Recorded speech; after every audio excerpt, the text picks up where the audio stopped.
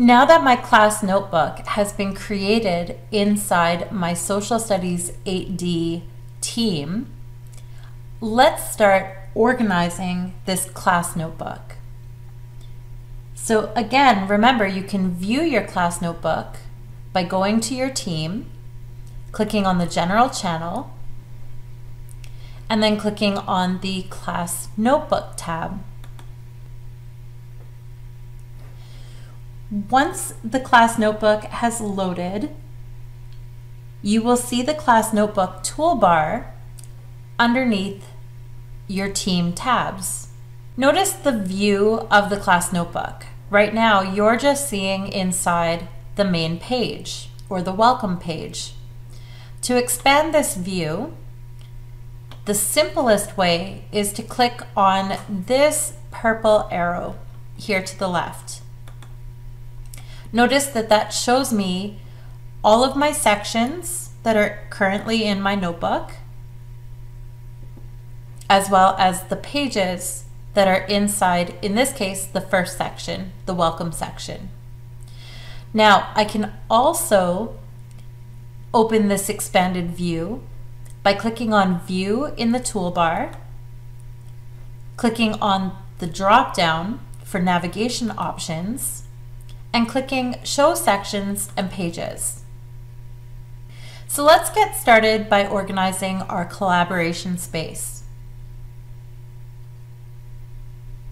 Notice that when I click on collaboration space, and I click on that first section using the collaboration space, you will see the standard view of the collaboration space that you are used to seeing in OneNote class notebook. Here you can start setting up your own sections. It is completely up to you what sections you would like to create. Maybe you'd like to create a section for each unit or each chapter um, for a group discussion or whole class discussion.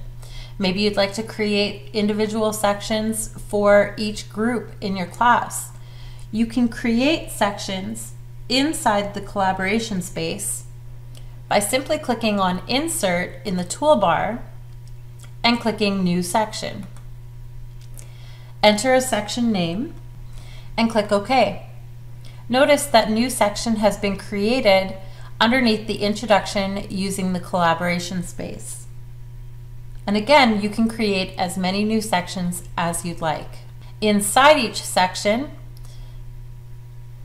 you will be given one page that is currently named Untitled.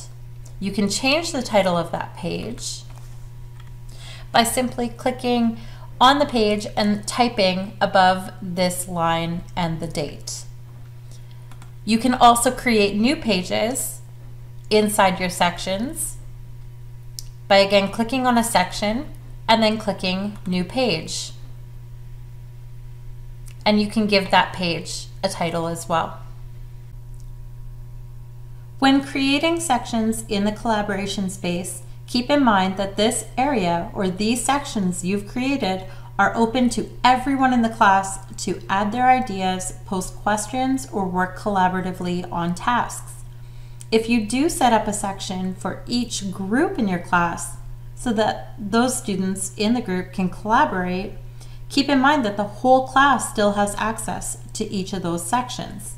This is a great opportunity to teach digital citizenship and set expectations for acceptable use of sections in the collaboration space.